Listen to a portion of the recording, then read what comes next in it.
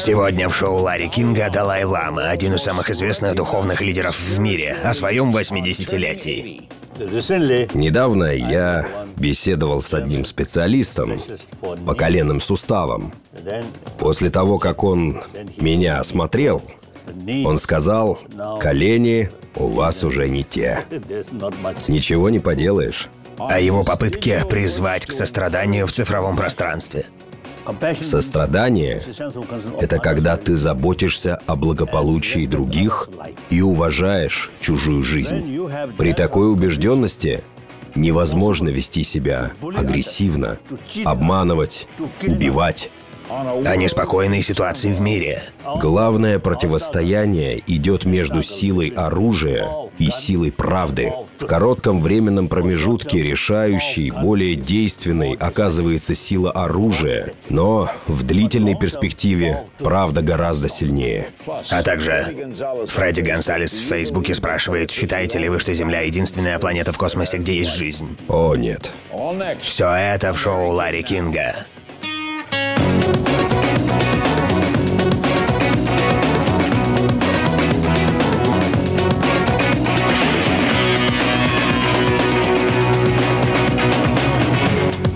В эфире шоу Ларри Кинга. У нас в гостях Нобелевский лауреат, один из самых известных духовных лидеров в мире, Далай Лама XIV. Он отмечает свое 80-летие поездкой в США на Всемирный саммит сострадания. Вместе с друзьями он проводит кампанию, призывая людей в честь его юбилея документировать акты сострадания в соцсетях. Беседовать с ним всегда большое удовольствие. У нас уже было много интервью.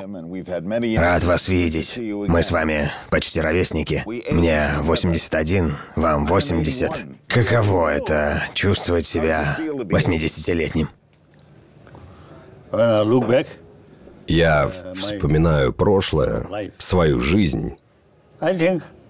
И думаю, прежде всего, моя личная практика сейчас, когда мне 80 лет, с каждым десятком лет некоторым образом развивается. Вы чувствуете себя на 80? На 80? Недавно я беседовал с одним специалистом по коленным суставам. После того, как он меня осмотрел, он сказал, вам уже не 18, а 80. Так что колени у вас уже не те. Ничего не поделаешь. И это напоминание мне о том, что теперь мне 80. Понадобится операция? Нет. Нет? Хорошо. Кроме того, конечно, как люди религиозные, как люди верующие, мы практикуем альтруизм или сострадание.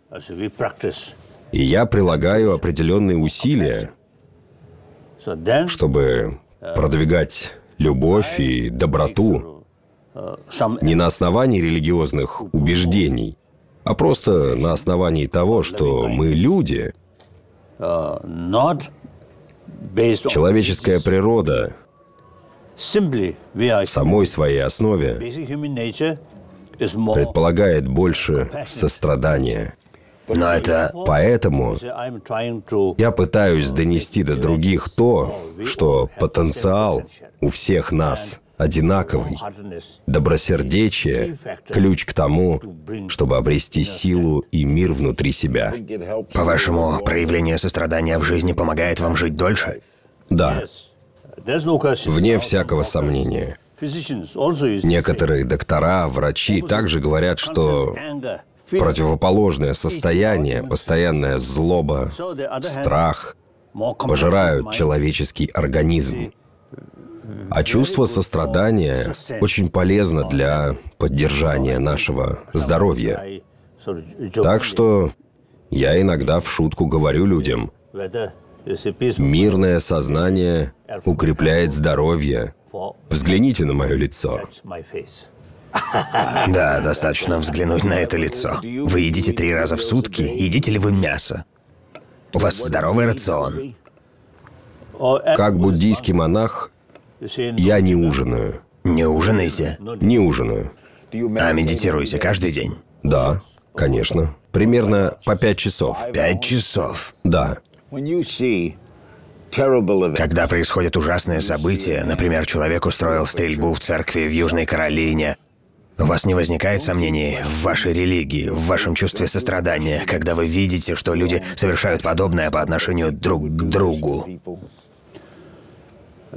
Такие вещи на самом деле убеждают нас в том, что нам необходимо прилагать больше усилий, чтобы рассказывать другим о ценности сострадания. Сострадание – это когда ты заботишься о благополучии других людей и уважаешь чужую жизнь. При такой убежденности невозможно вести себя агрессивно, обманывать, убивать. Но когда вы видите, что это происходит, Значит, сострадания не хватает. вам не кажется, что ваш сигнал не доходит? Нет. Понимаете, сигнал не совсем правильно направляется. О том, что нужно любить друг друга, нужно рассказывать не только внутри церкви, но и в повседневной жизни.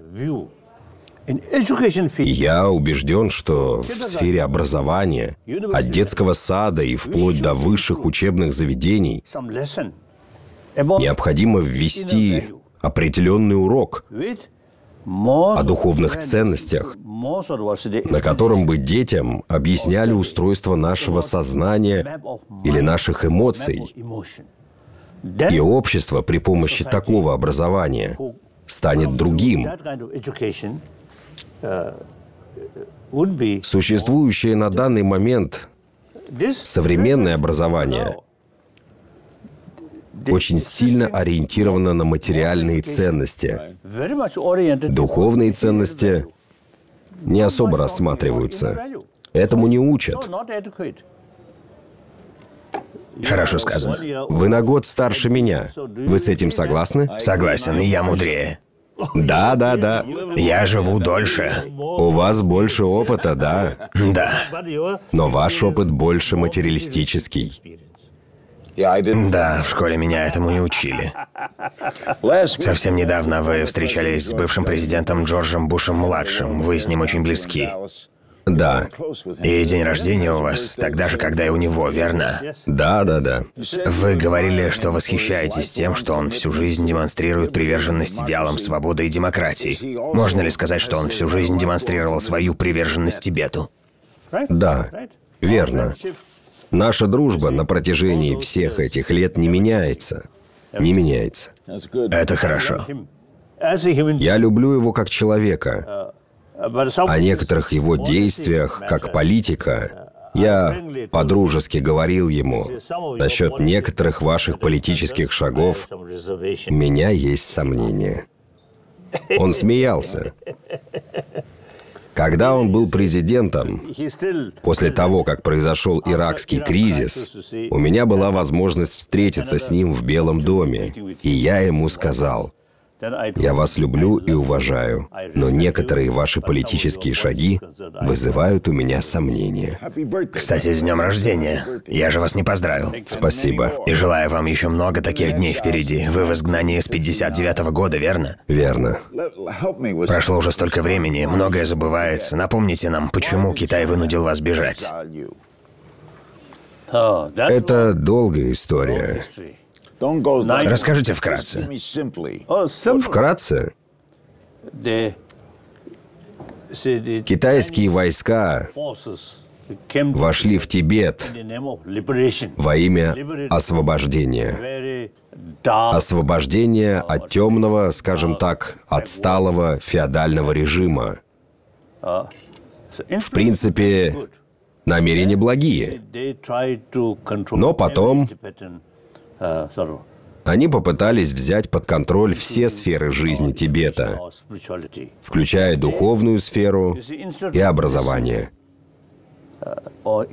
Вместо того, чтобы прислушаться или изучить обстановку на местах, они стали навязывать свои убеждения силой.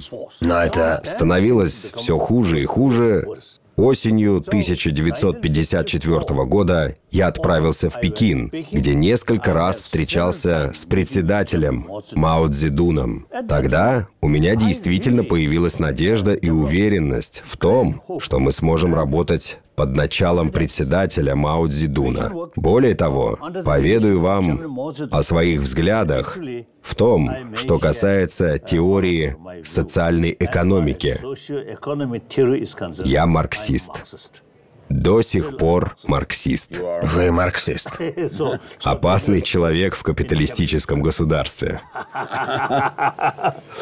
Сама концепция социализма вызывает у меня восхищение. Однако, как мы видели, в самом Китае в конечном итоге сложилась очень непростая ситуация. Тоталитаризм, репрессии, пострадал и Тибет. Вас изгнали в 1959-м. В 58-м, 59-м ситуация вышла из-под контроля. Другого выхода, кроме бегства, не оставалось. И вы ни разу не возвращались? Нет. Считаете ли вы, что Китай и Тибет когда-нибудь... Как думаете, Тибет получит автономию? Думаю, да. Посмотрите, что происходит сейчас. Новый председатель Си Цзиньпинь открыто сказал, что буддизм крайне важная часть китайской культуры. Значит, у вас есть надежда? Да. Но ведь в Китае издают предупреждения, чтобы люди не праздновали ваш день рождения. Да, сторонники жесткого курса, думаю, с их точки зрения, это вполне логично. Некоторые официальные лица считали меня демоном. Естественно, празднованию дня рождения демона нужно помешать. Чего они боятся? Правды. Как бы не было тяжело, правда, честность, прозрачность для меня всегда дело принципа. Мы не стремимся к независимости и отделению. Нам нужна значительная автономия внутри Китайской Народной Республики. Вот залог сохранения тибетского самосознания, языка, богатого культурного наследия. То есть вы настроены оптимистично? В общем, да. Об этом можно сказать так. Главное противостояние идет между силой оружия и силой правды. В коротком временном промежутке решающий, более действенный, оказывается сила оружия. Но в длительной перспективе правда гораздо сильнее. Вы говорите о сострадании и любви, и при этом видите, что творится в мире. Как же вы сохраняете оптимизм? Я верю, что в мире будет счастье и сострадание, потому что человек по природе своей склонен к состраданию. Ведь жизнь начинается с материнской любви. Да. А недавно ученые выяснили, что спокойствие разума тесно связано с состраданием. Поэтому в наших же интересах, чтобы поддерживать физическое здоровье, нужно, чтобы разум был в покое. Мы иногда говорим «здоровый разум, здоровое тело». Связь очень тесная. Поэтому, если смотреть объективно, то человек по природе своей склонен к состраданию. А счастье и радость очень сильно зависят не от материалистических благ, а от духовных ценностей. В свой день рождения его святейшество хочет, чтобы в мире стало больше сострадания. Как этого достичь? Об этом во второй части программы. Мы продолжаем беседовать с его святейшеством Далай-ламой, которому недавно исполнилось 80 лет. Он один из наиболее выдающихся людей в мире. Знать его лично большая честь. Вы сказали, что в мире было бы меньше конфликтов, если бы на руководящих должностях были женщины, верно? Да, да, верно, я так считаю. Значит ли это, что вы поддерживаете таких кандидатов, как Хиллари Клинтон? Будете ли вы участвовать в ходе американских выборов? Нет. Нет. В том, что касается политики, я сохраняю нейтралитет. Почему? Какую пользу нам принесет то, что у власти будут женщины? Опять же, по мнению ученых, женщины острее чувствуют боль другого человека, чем мужчины. Поэтому мне иногда кажется, что если на ответственных постах будет больше женщин, то, возможно, станет меньше насилия. К вопросу о сочувствии. У вас были доверительные отношения с вашей матерью? Да, и даже очень. Моя мама была простой, необразованной и неграмотной крестьянкой, но очень любящей матерью. Я тогда был младшим ребенком в семье. И она очень ласково со мной обращалась. Я рос в деревне, и игрушек у меня не было. Мама носила меня на плечах, и я был рад.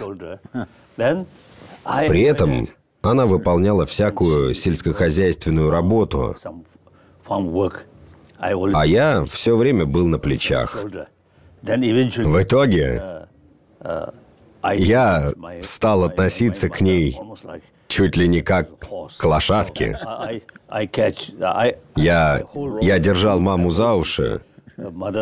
Хочу в ту сторону. Хочу в эту сторону. Когда она не слушалась моих указаний, я начинал кричать и молотить ногами. Ваша мама много прожила? О, да.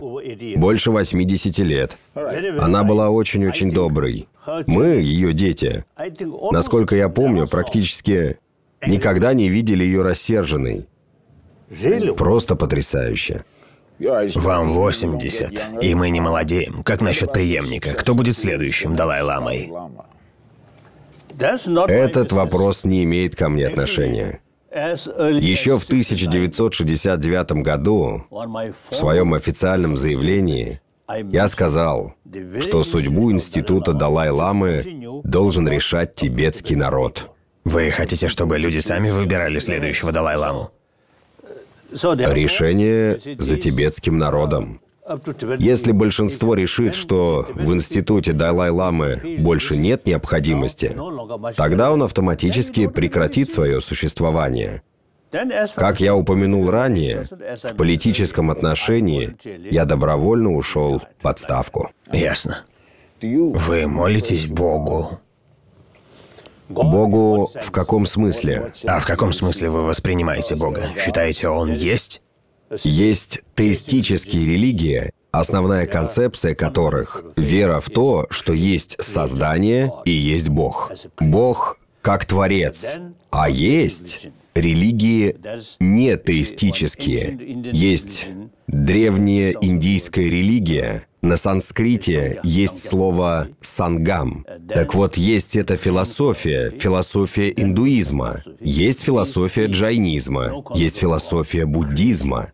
У нас нет понятия Бога-творца. Конечно, как буддист я верю в Будду, но для меня он учитель. Не божество.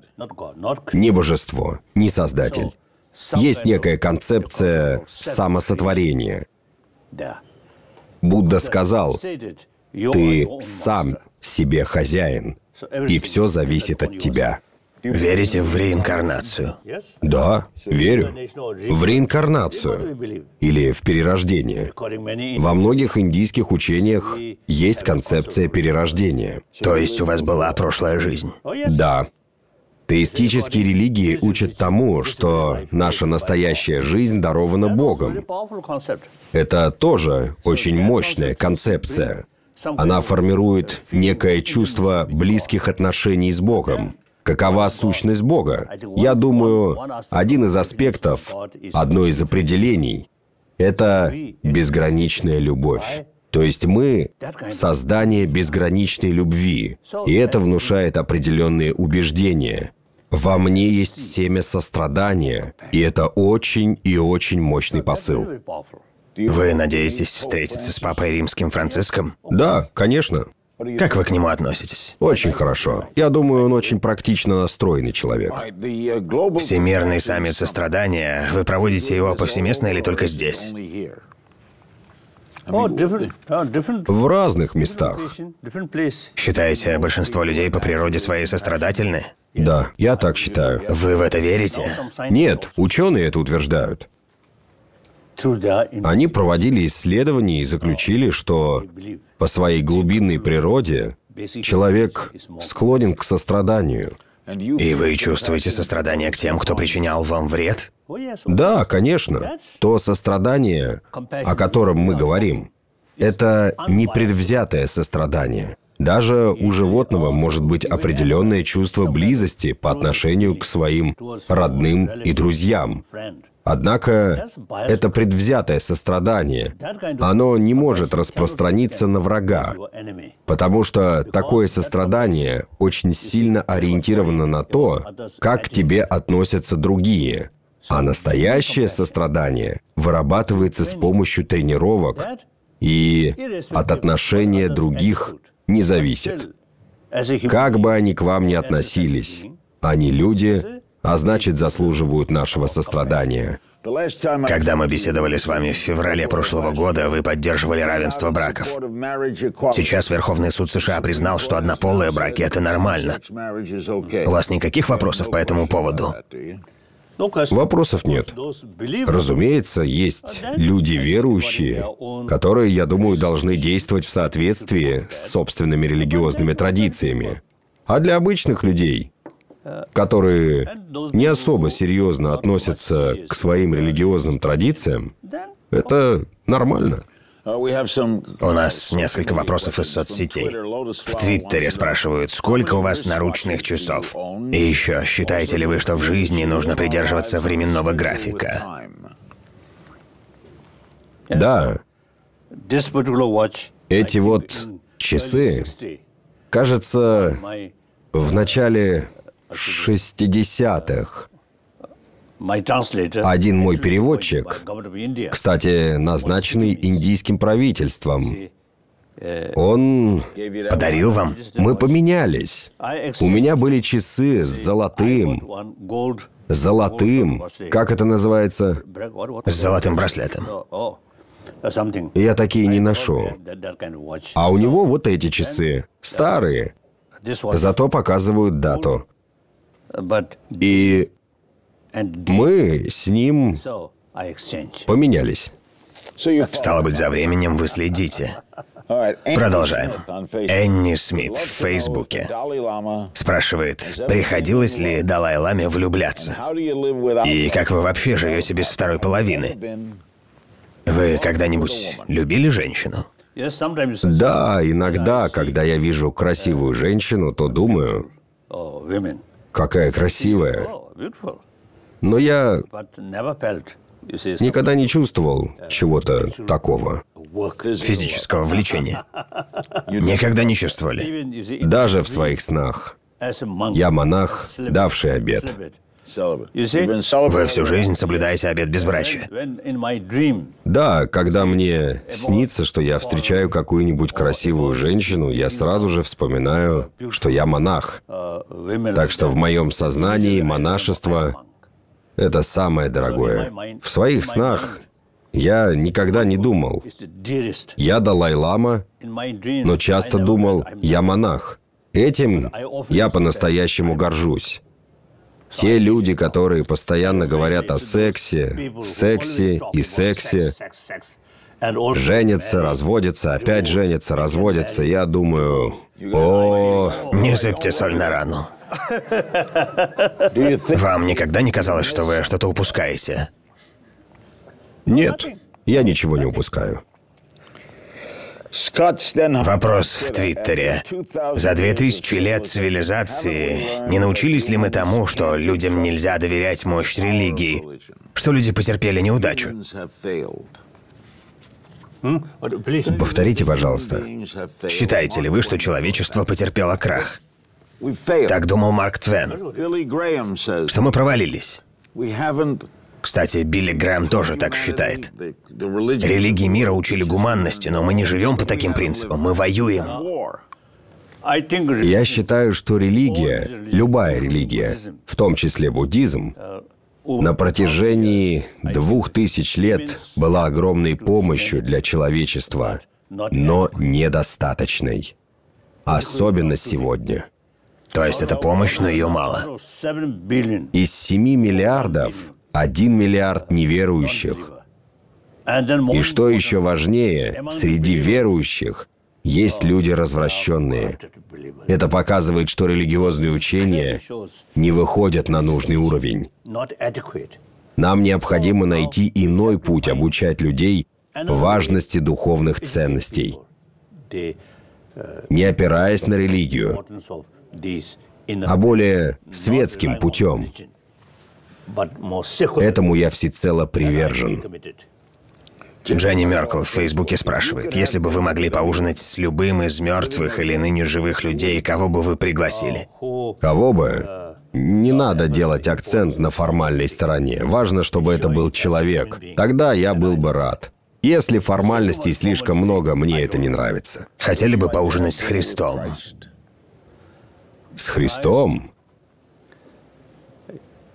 Один раз меня спросили, если бы у вас была возможность встретиться с Иисусом Христом, какой бы вопрос вы ему задали? И я подумал, что спросил бы о сущности Бога, Его Отца, или Святого Духа. Мне бы хотелось узнать больше. Мне тоже. Фредди Гонсалес в Фейсбуке спрашивает, считаете ли вы, что Земля — единственная планета в космосе, где есть жизнь? Нет. В буддийской литературе говорится о бесчисленных мирах, бесчисленных галактиках. Так что я думаю, если мы, руководствуясь здравым смыслом, зададимся вопросом, неужели в бесчисленных галактиках, среди бесчисленных планет, только на этой планете есть люди. Мне кажется, это трудно сказать. Согласен. Оглядываясь в прошлое, что вы считаете своим наибольшим достижением? Чем вы больше всего гордитесь? Не знаю. Трудно сказать. Иногда я чувствую, вот уже более 30 лет, я веду серьезную дискуссию с учеными. Как правило, мне интересен диалог между буддийской наукой и наукой современной. Я думаю, никто больше такой дискуссии не начинал. Можно сказать, это одно из моих достижений. Вы открыли диалог. И еще касательно Тибета. Женские монастыри, по крайней мере, несколько веков, там не было практически никакой традиции тщательной научной подготовки. Когда мы оказались в Индии, кажется, в 60-е, начале 70-х, я принял решение и призвал все женские монастыри проводить тщательную научную подготовку. Спустя 20-30 лет мы увидели, что некоторые монахини стали высококомпетентными учеными. Это я тоже считаю одним из своих достижений. Вы боитесь смерти? Нет. Это часть природы, часть нашей жизни. Рано или поздно она наступает.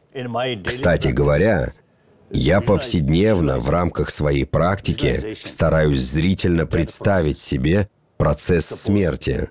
Это подготовка к настоящей смерти, когда она наступит. Но насколько я к тому моменту преуспею в своей практике, я не знаю. Спасибо вам, ваше святейшество. Для меня всегда большая честь беседовать с вами. Спасибо вам. Спасибо. У нас в гостях был его святейшество Далай-Лама, замечательный человек и собеседник.